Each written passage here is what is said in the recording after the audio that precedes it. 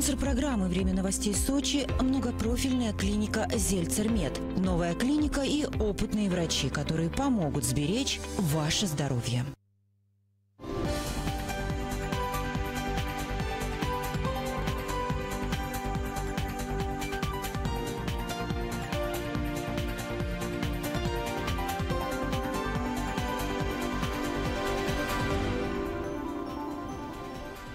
В эфире «Время новостей» в студии Владислава Бескромная. Здравствуйте. Сегодня в программе.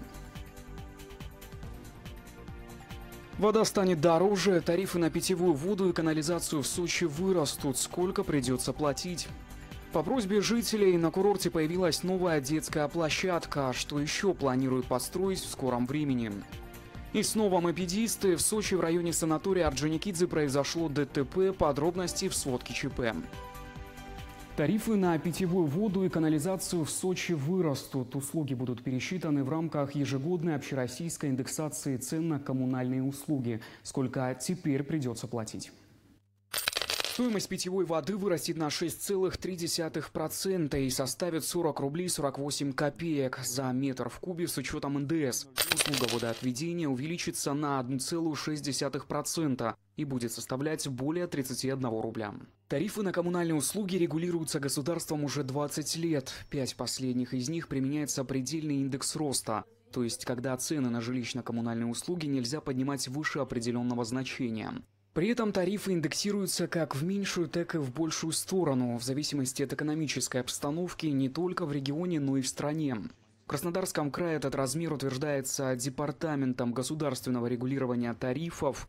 Напомню, абонентам необходимо оплачивать счета по коммунальным услугам до 10 числа каждого месяца. При этом показания приборов учета необходимо передавать один раз в месяц, не позднее 24 числа. Поселке Кудепста завершают строительство детского сада. На площадке побывал исполняющий обязанности главы города Андрей Прошунин. Это один из самых крупных детсадов Южного федерального округа. Одновременно в него смогут ходить 550 детей. Работы идут по графику, строительство ведет инвестор. В микрорайоне Кудепста реализуют проект комплексного развития территории. На данный момент э, э, ведутся фасадные работы, выполнены на 70%, благоустройство на 70%, э, внутренние инженерные сети на 90%, наружные инженерные сети полностью выполнены. На данный момент на объекте работает 186 человек, 8 единиц техники, работаем в круглосуточном режиме. То есть объект, э, по вашим оценкам, мы однозначно сдадим перед 1 сентября. Да, у нас такая задача стоит. Э, в конце августа все работы завершить. Сейчас мы еще проговорили вопрос части наполняемости, то есть это воспитатели, это коллектив, который будет обслуживать детей.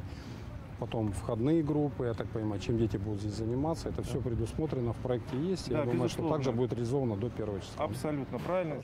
Трехэтажное здание оформят в эко-стиле. Детей будут знакомить с миром флоры и фауны. И каждый из трех этажей станет олицетворением трех стихий – воды, земли и воздуха. Там будут учебные классы, музыкальные и спортивные залы, кабинеты психолога и логопеда.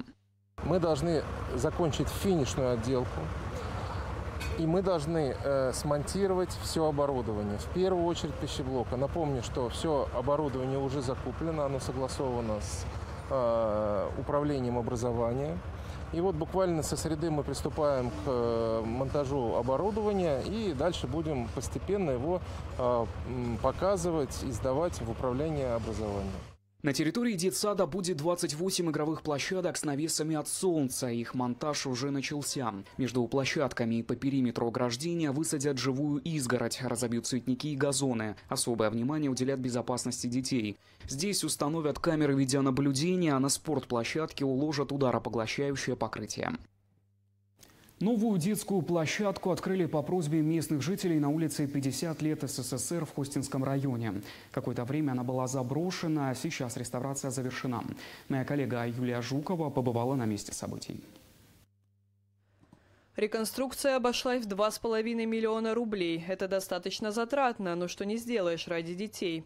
На новых детских площадках мы, конечно, вместе с администрацией Хостинского района устанавливаем информационные э, таб- таблички, таблички вот, в которых э, там указывается правила поведения на площадках, правила безопасности, для того, чтобы наши граждане и наши дети, в первую очередь, были здесь в безопасности, чтобы знали, как себя вести, что можно делать, что нельзя. Безопасность детей обеспечивает прорезиненная поверхность площадки, натуральная сетка, забор и закругленные углы на всех качелях и горке. Помимо этого планируют установить видеокамеры. Сегодня мы здесь собрались по поводу э, второго рождения этой детской маленькой площадки возле дома номер 12А. Она когда-то существовала, но пришла в упадок. По наказу жителей, наши депутаты, Александр Николаевич Захаров и Владимир Борисович Елединов э, выделили средства, и сегодня она вновь обрела красоту, удобство – Контролировала работы комиссия по благоустройству. Основными элементами детской площадки стали горка, карусель и двухместные качели. Изготовлены они из высококачественного пищевого полиэтилена низкого давления, металла и фанеры. Все металлические элементы окрашены полиэтиленовым порошковым покрытием. Следующая площадка у нас э, будет в Кудепске, буквально на днях. И еще такая же площадка будет на Маламахуне. Помимо этого, мы уже отремонтировали по наказам наших избирателей всем э, дорожных покрытий и в Хосте, и в Кудепсте. Ну и сейчас э, планируем и работаем над наказами 2025 года. Добавлю, помимо двух новых площадок в Хосте, в ближайшее время построят еще одну на улице Красных Партизан 4. Сейчас на завершающем этапе благоустраивают зоны бывшего орнитопарка на улице Октября и сквера Мацестинский. Юлия Жукова, Дмитрий Говорков. Время новостей.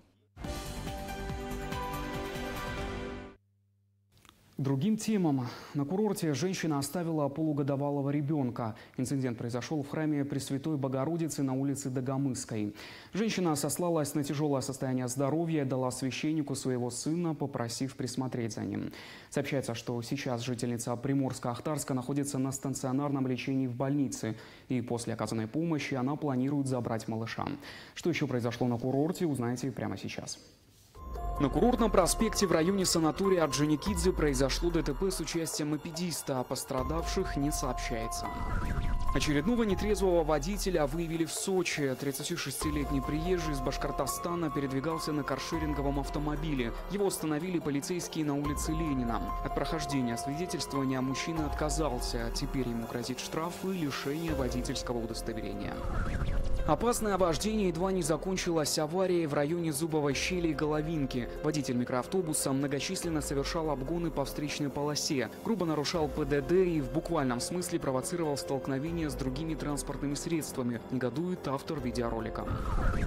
Поймали с поличным, а злоумышленник, находясь в торговом помещении на улице Пасечная, взял с полки товары и попытался скрыться. Нарушителя остановили на выходе сотрудники сетевого супермаркета. В результате мужчина вернул весь прихваченный с собой товар. В ходе рейда полицейские выявили два заведения, в которых после 23.00 часов громко играла музыка. В отношении владельцев составлены административные протоколы. Это время новостей. Смотрите во второй части программы. По новым правилам РЖД изменит требования перевозок животных. О каких нововведениях идет речь? 100 из 100 выпускник гимназии Сочи получил 300 баллов на ЕГЭ. Какие планы у юного гения? Цветет раз в жизни. В сочинском дендраре распустилась агава. Уникальные кадры запечатлела группа «Сочи-24». Далее короткая реклама. Оставайтесь с нами. За здоровьем в Зельцермет. Врачи высшей категории. Современное оборудование. Лазерная хирургия. Доступные цены. Все это в новой многопрофильной клинике Зельцермет. Подробнее на сайте зельцерклиника.ру. Требуется консультация специалиста. Грандиозное. Яркое. Новое цирковое шоу «Генерация. Пять континентов». Все лето в сочинском цирке 300 03 68. 0+. Импульс. Центр психологической помощи и нейрореабилитации в Сочи и Азии Адлере предоставит комплексную диагностику и личный план коррекции. Запись на сайте импульс-сочи.ру. Экспресс-диагностика бесплатно.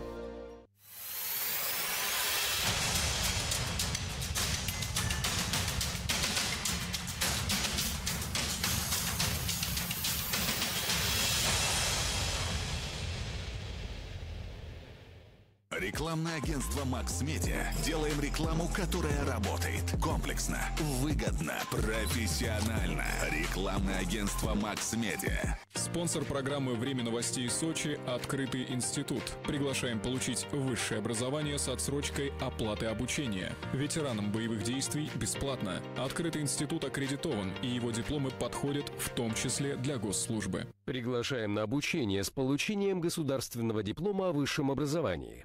Поступление в любое время года. Свободный график обучения. Оплата после итоговой государственной аттестации.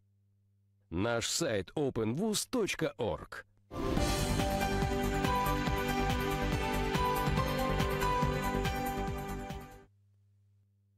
Время новостей в эфире в студии Владислав Бескромный, и мы продолжаем. РЖД внесли изменения в правила перевозки животных. Теперь при покупке билета будет указываться точный вид подопечного из разрешенного перечня. Билет для него станет обязательным. Если животное потеряется, то проводников обяжут искать хозяев. Каких еще ждать нововведений, расскажет Юлия Жукова.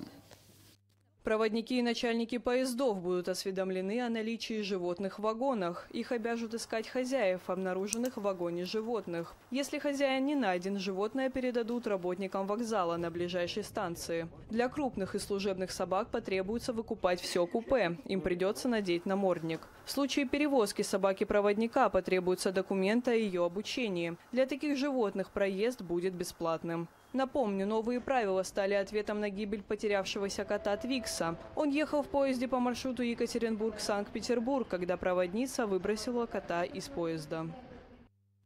Выпускник Сочинской гимназии номер 8 набрал 300 баллов на ЕГЭ. За каждый из трех сдаваемых предметов 11-классник получил максимальное количество баллов. Как удалось вчерашнему школьнику справиться со всеми заданиями, преодолеть напряжение и стать лучшим. С выпускником пообщалась съемочная группа «Сочи-24».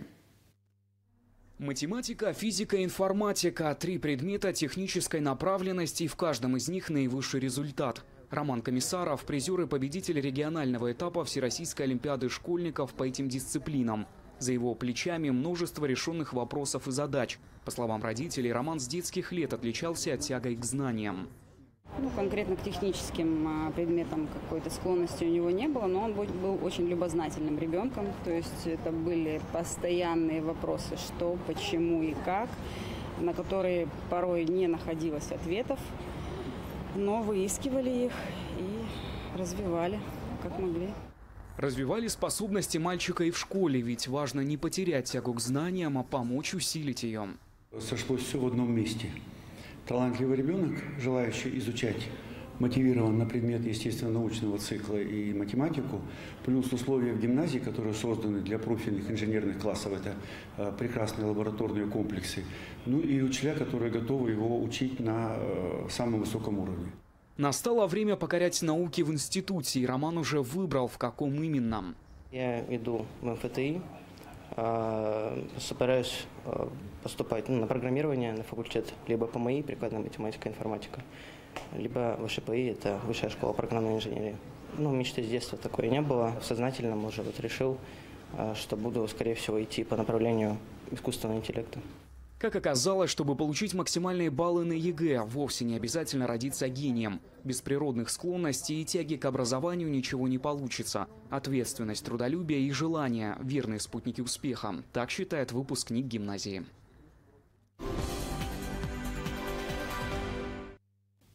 Крупнейшем выставочном центре города Сочи в Гранд-отеле «Жемчужина» открылась выставка «Ярмарка православия. Фестиваль народных мастеров-2024». Она состоялась по благословению епископа Сочинского и Туапсинского. Что интересного ждет гостей и какая программа для них подготовлена?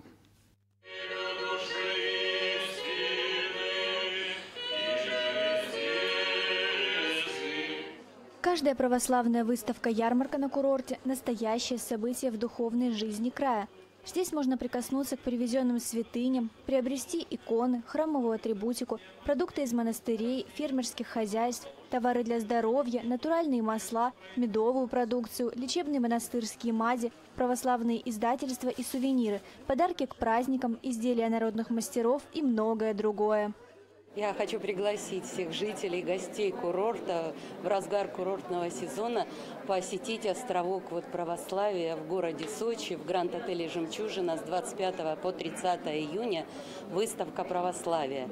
Здесь собрались, приехали монастыри и храмы из разных регионов нашей страны. Привезли чудотворные иконы и образа, привезли много интересной продукции. Наталья представляет храм Матрены Московской из Ульяновской области. Привезли вам разные водичка святая от матрошки и матронушки, масличка от матушки матрошки, сухарушки матушки и матронушки. Все пожертвования, приобретенные, которые вы у нас приобретаете, идут на строительство нашего храма. Храм Матронушки Московской мы построили э, с 12 года, сейчас идет строительство.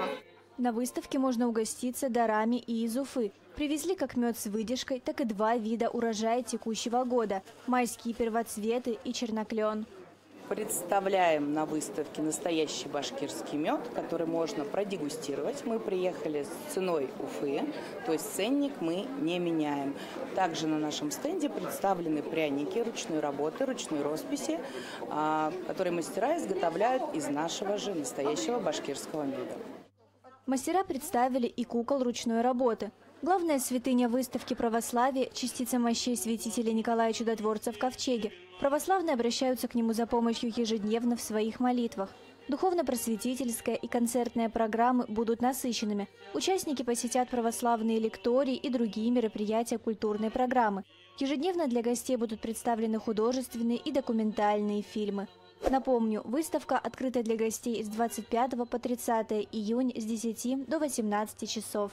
Валерия Сача, Дмитрий Говорков. Время новостей. Прямо с севера Дальнего Востока в Сочи приехали дары Камчатки. Ценные породы рыбы и натуральную красную икру. Настоящий кладезь полезных веществ и микроэлементов можно приобрести в гранд-отеле «Жемчужина» на выставке ярмарки православия. Деликатесы привозят на курорт уже не первый год.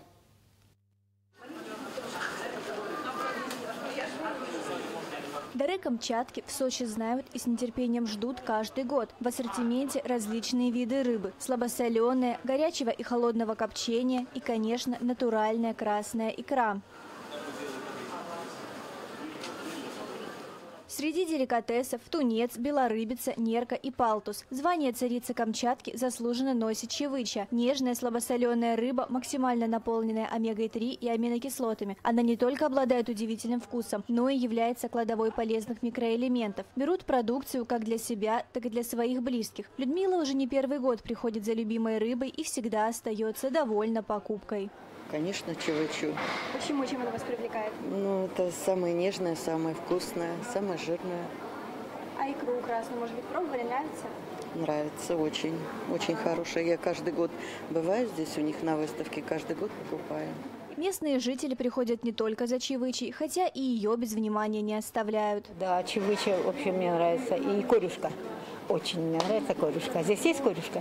Есть и корюшка. Сочетание кальция, калия и магния помогает наладить работу сердца и кровеносных сосудов. Эти минералы оказывают положительное влияние на артериальное давление. Чтобы сохранить свежесть, натуральный вкус и витамины, которыми так богаты морепродукты, деликатесы доставляют без использования заморозки. Приобрести их можно в Гранд-отеле «Жемчужина», стенд Дары Камчатки, павильон номер 89 до 30 июня включительно. Выставка православия работает на втором этаже в выставочном зале с 10 утра до 6 6 часов вечера. Валерия Асачи, Дмитрий Говорков. Время новостей. Спортивная копилка Сочи пополнилась еще двумя медалями. В Казани завершились пятые по счету игры стран БРИКС по боксу. На протяжении четырех дней на ринге боролись за победу сильнейшие атлеты.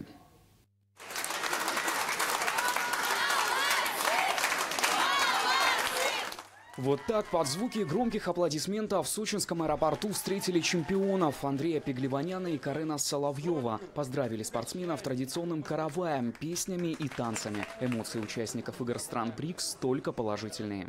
Впечатление только хорошее. Город Казань шикарный, место проведения соревнований шикарное. Деревня университеты тоже все понравилось. Очень много разных стран приехало, много людей, э, со всеми пообщались, новые знакомства. Мне все очень понравилось на высоком уровне.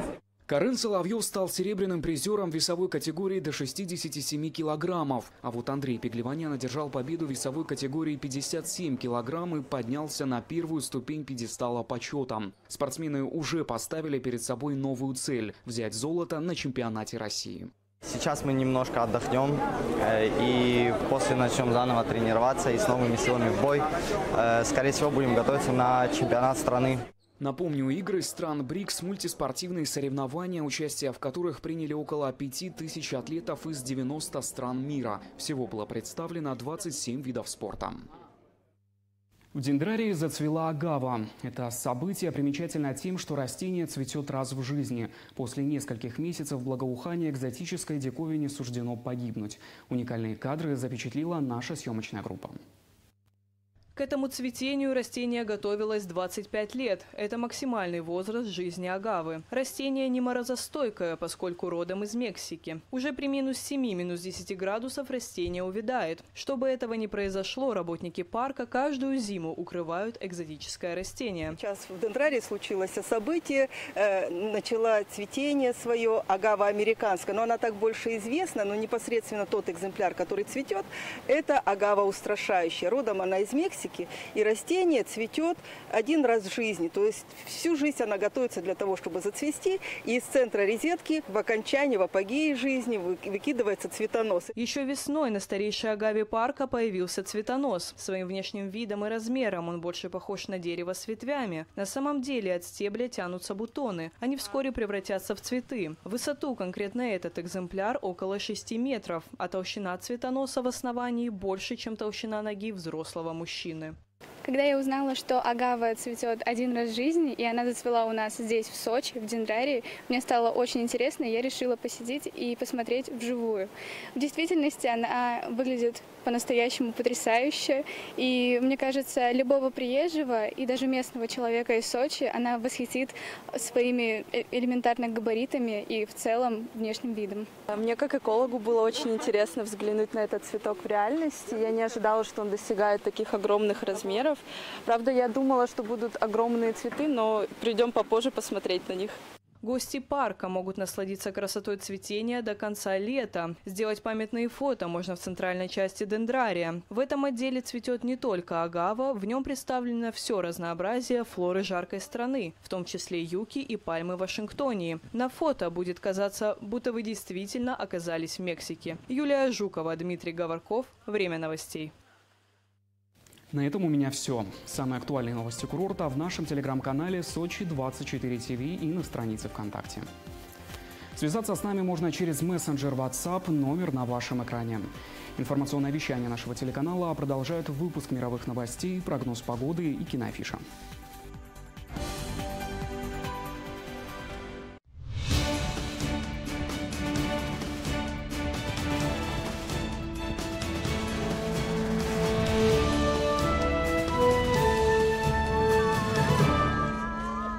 Горем родственницы погибших при пожаре приехали на южнокорейский завод по производству литиевых батарей «Арисел» в городе Квасон. Трагедия произошла здесь днем ранее. Погибло не менее 22 человек. Большинство из них были гражданами Китая. Также погиб один гражданин Лаоса и двое южнокорейцев. Еще одного рабочего продолжают искать.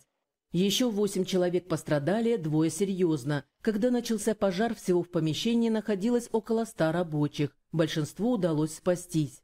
Пожар вспыхнул на складе, где хранилось 35 тысяч литиевых батарей. В результате образовался токсичный дым, и рабочие, вероятно, потеряли сознание, после чего их охватило пламя. Тела сильно обгорели.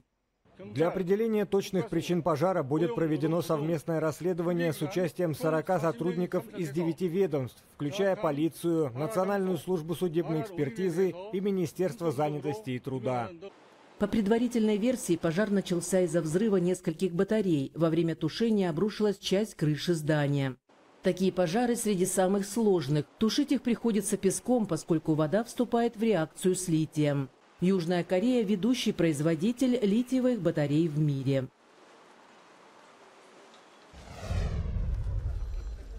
Президент Кении направил 400 полицейских в Гаити. Они возглавят многонациональную вооруженную миссию, которая поможет гаитянским правоохранителям бороться с могущественными бандами. ООН одобрила ее создание в октябре прошлого года.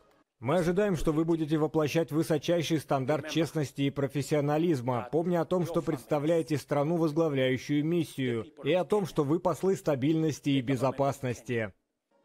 Кения вызвалась возглавить многонациональную миссию год назад. В целом она направит в карибскую страну тысячу полицейских. Это не первая миротворческая миссия ООН, направленная на поддержку правосудия в Гаити. Предыдущие оставили после себя много погибших мирных жителей, вспышку холеры и скандал с сексуальным насилием. Однако гаитяне надеются, что теперь иностранный полицейский контингент будет действовать иначе и поможет остановить бандитизм. В Гаити преступные группировки много лет терроризируют мирное население. Они еще больше активизировались в феврале. Сейчас под их контролем почти 90% порта Пренса, а также ключевые дороги, ведущие к столице. Только за первые три месяца этого года в Гаити было убито и ранено 2500 человек. В целом в стране из-за бандитского насилия более полумиллиона жителей были вынуждены покинуть дома. Не иностранцы решат наши проблемы, нам самим надо найти решение. Но тем не менее мы принимаем помощь. По стране нельзя ездить, поскольку во многих регионах царит беззаконие. Нам нечего есть, люди спят на улицах, а дети не ходят в школу. Если нам придут на помощь, я скажу «да». По-моему, полиция Кении собиралась слишком долго. Мы страдаем уже 4 года. Если бы наши власти могли что-то сделать, то сделали бы. Полицейских также направят Багамские острова, Бангладеш, Барбадос, Бенин, Чад и Ямайка. Всего в миссии будут участвовать 2500 стражей порядка. Годовые затраты на ее поддержание составят примерно 600 миллионов долларов США.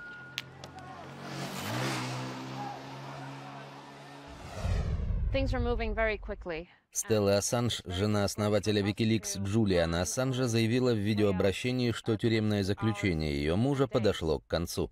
Как сообщается, он пошел на сделку с правительством США, согласно которой признает себя виновным по уголовному обвинению в обмен на освобождение.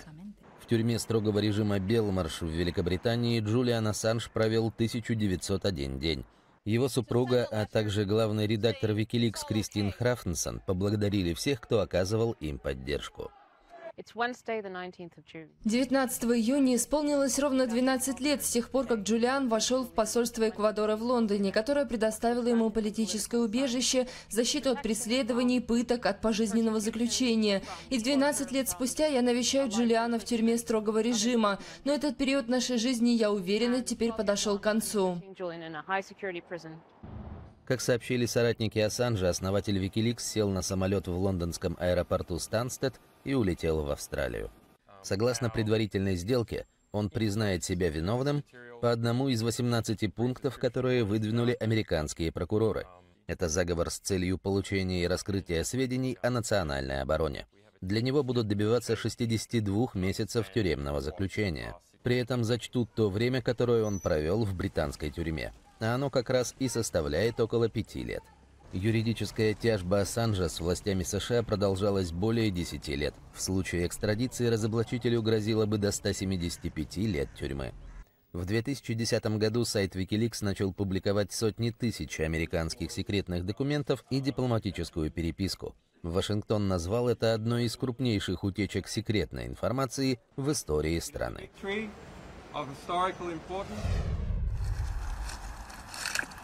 Семейство из пяти бобров успешно защищает лондонский Бора Илинг от наводнений. Троих взрослых грызунов и двоих детенышей привезли сюда из Шотландии в октябре прошлого года. Они быстро освоились и за первые пять месяцев построили пять плотин. В октябре здесь прошло два очень сильных дождя. Один местный парк подтопило. Вода текла по ливневой канализации бурным потоком. В Рождество всего через несколько месяцев после появления бобров налетел похожий шторм, но вода просто текла небольшим ручьем по ливневой канализации. Бобры замедлили этот поток. Нас удивило, что за такое короткое время они снизили риск наводнения. Раньше бобры жили по всей Великобритании, но 400 лет назад исчезли. Их истребили охотники. Остались эти грызуны только в Шотландии и графстве Девон. Сейчас животных постепенно возвращают в прежние места обитания. Исследователи изучают, как бобры влияют на речную систему. По мнению специалистов, эти природные инженеры могут предотвращать наводнения. Бобры сдерживают наводнения, они создают извилистые пути, появляются водно-болотные угодья со сложной структурой. Поэтому, когда идет сильный ливень, воде требуется много времени, чтобы пройти через эту систему, просочиться через каждую бобровую плотину или ее обойти. И это лишает поток силы, поскольку вода разливается по обширной территории вместо того, чтобы течь по глубокому руслу. В этом заповеднике бобры валят в основном ивы и березы. Это копия черепа бобра, и одна из самых удивительных особенностей этих грызунов – зубы. Резцы спереди покрыты твердой эмалью, а сзади более мягкий дентин. Он стирается быстрее эмали. Бобры затачивают эти зубы, когда грызут кору, древесину и все остальное. За бобрами наблюдают с помощью фотоловушек и приборов ночного видения. Территория, где живет семейство, огорожена. Ветеринары считают, что уже этим летом у бобров могут родиться детеныши.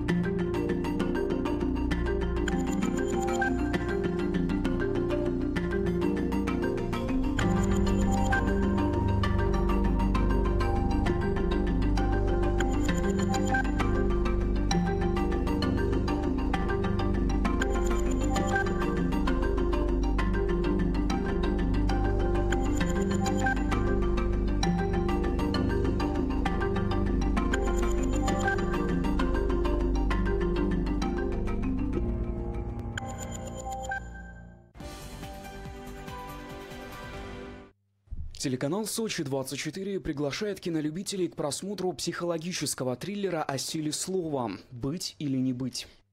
Поступала в Щукинское. А, ну и не поступили. Ну и понятно. Да? Почему не поступила? Поступила! Поступила в Щукинское, правда, с четвертого раза. Двое опытных полицейских расследуют дело о тройном убийстве в театре. Из четырех актеров, оказавшихся в одной гримерке, выжил один. Под подозрением несколько героев трагедии, в том числе и знаменитая актриса, находящаяся в психиатрической клинике. Что привело всех к трагическому финалу? Кто виноват в смерти людей и какие тайны живут за кулисами театра? Об этом вы узнаете, посмотрев киноленту «Быть или не быть» на телеканале «Сочи-24» в эту среду, 26 июня в 21.00. Приятного просмотра!